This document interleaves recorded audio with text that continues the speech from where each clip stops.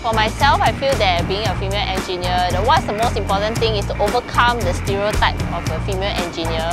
Go and explore the train, get your hands dirty. It's fine, it's totally worth it. And uh, you also get to sometimes uh, prove to the male that you're better than them.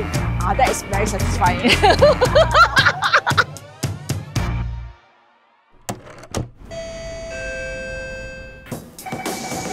Hi, I'm Kim Hui here. My name is Joan and we are both LTA rolling stock engineers. So what we do is we review the design of the trains and then we follow through with the manufacturing of the trains. Thereafter, we witness the testing of the trains before the trains are officially launched for passenger service. And uh, if you have taken Northeast Line train, most likely it has passed through our hands. North Northeast Line is the first train that is without driver. I can remember there were few of passengers to ride on this driverless train. Of course, to do the testing, I have to be present in the train.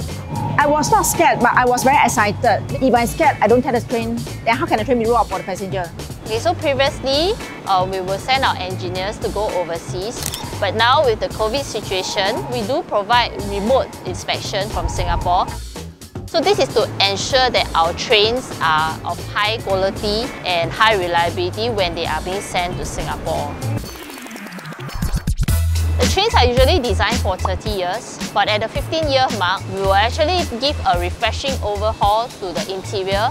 So what we typically do is to replace the seat shells. So for North Northeast Line, we will want to incorporate the distinctive purple into the colour of our seats. Anyone tell you, wow, very nice. Definitely, definitely like you can hear this reaction from the passenger because the new train has got the new feel as well as, as the new smell. Of course, I like to smell it because when I smell this, I know it's new.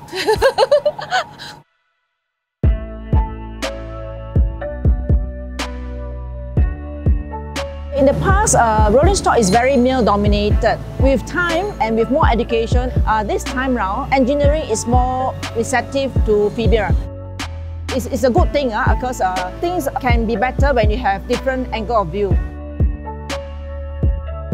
I will encourage uh, young female engineers to be confident in yourself and what you are doing. At the end of the day, you are doing for the benefit of the society, so just do what you think is right.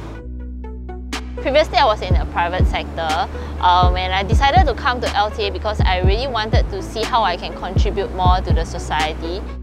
One day, I hope that I'll be able to take my daughter on the train and then explain to her and tell her that, oh, this is what mommy did. I do hope that it's a message that I will send to her that whatever you do, you must make sure that you are helping someone in the community.